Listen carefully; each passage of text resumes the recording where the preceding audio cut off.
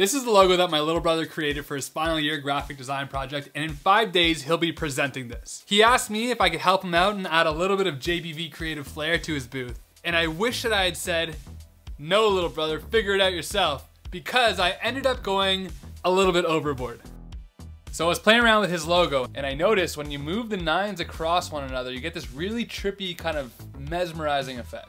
So I'm thinking we turn the logo into some clear acrylic nines and we build a mechanism that can move them across one another to create that mesmerizing effect. But here's where things get a little bit more complicated than they need to be. Instead of just moving the nines back and forth, my vision is to have the nines rotate around one another to create this continuous motion. Why do I do this to myself? Let's go mechanism hunting.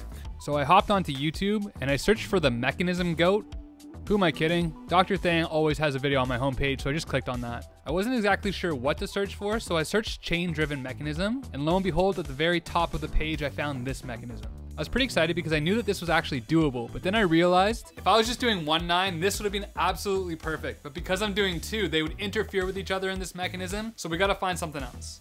So it was back into the search bar, and this time I tried keeping direction unchanged while translating, and I came across two different mechanisms. The one on the left uses these two offset chains, and generally speaking, a single chain drive is tricky enough as it is, so having two feels like it might be a little too much for the time frame that we have here. On the other hand, the one on the right is more similar to the first mechanism that I found. The way it works is it uses the chain to pull a slider around a track. At the top of the track, there's these three arcs, and that's what keeps the slider oriented in the same direction as it comes around the curve. With only four days to design, I figured that a single chain drive was more than enough. So the first step was to print a test piece to get a better feel for how this mechanism was gonna work.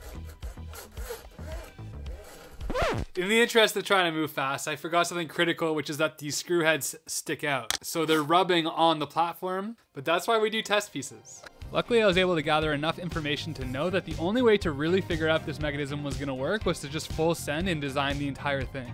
So I did, and then I printed it out along with the drivetrain components, which connect a stepper motor through a 6.25 to 1 gear ratio to the sprocket here on the left. Just as a quick side note here, if you're wondering why I'm using stepper motors instead of regular DC motors, with a little bit of extra circuitry, the stepper motors can run completely silently. DC motors, on the other hand, can be powered directly from the wall plug, which is really convenient, but they make a whole bunch of noise. And for comparison, this is the stepper motor, and this is the DC motor. So the stepper motor wins and it's worth the extra electronic complexity. Let's keep going. I grabbed the chain segments off the printer and I assembled the entire thing. And this is what I got, which was honestly working better than I expected. Although there's some obvious problems like the chain tension's a little bit loose and it's just generally kind of janky. Let's fix the chain tension first. So instead of reprinting anything, I just decided to laser cut some holes into a piece of MDF that I can mount the sprockets into. And after a few attempts, I ended up with this chain tension, which was looking really good. I printed out an updated base along with an electronics enclosure that can fit these new electronics that I soldered. And we got something. It's looking way better than it was before. So I threw this panel on to get a better idea of how it would look as it comes around the curve. And I noticed this one really annoying problem. I'm finding that the bearings are getting stuck in the tracks and honestly I'm just like running out of time right now. So I'm just gonna try to eliminate as much inconsistency as possible and just remove the bearings. That's what this is for. And I printed this test track to make sure that it will work and it seems to work like pretty much just as, as well. So no bearings it is. Hopefully for the last time, I printed out another base and the new parts. I assembled the whole thing, turned it on, and it still freaking jams. Come on.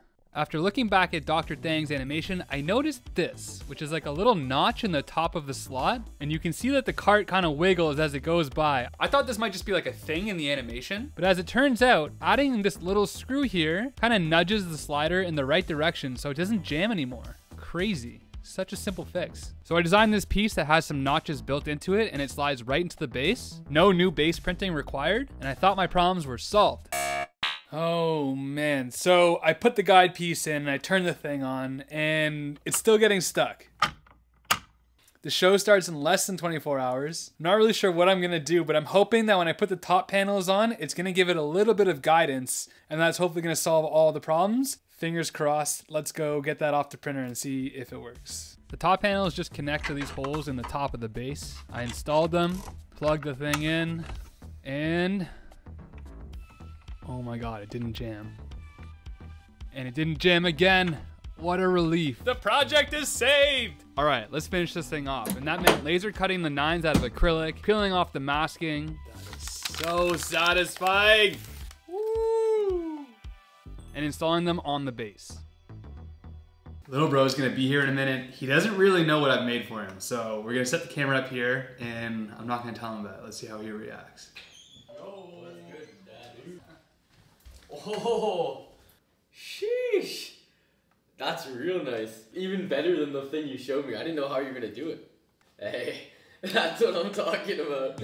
Little bro was pumped, and I was pretty satisfied with the outcome. So I was off to the George Brown School of Design in downtown Toronto to check out the show. And this is what the booth ended up looking like. The thesis was a youth sports organization. Little bro had to create an entire brand based off of that concept. The 99 not only represents sports, but it also represents that although perfection is unattainable, chasing it can lead us to do great things. And overall, his thesis turned out amazing. As far as my contribution to the booth goes, I'm very happy with the way that it turned out. It added a little bit of flair, but nothing that would take away from the work that he's already done. Thank you so much for following along on this video. If you have any ideas for things that you want to see turned into kinetic sculptures, let me know in the comments below, but make sure that I have more than four days to get it done because that was stressful. And on that note, I'll see you in the next one.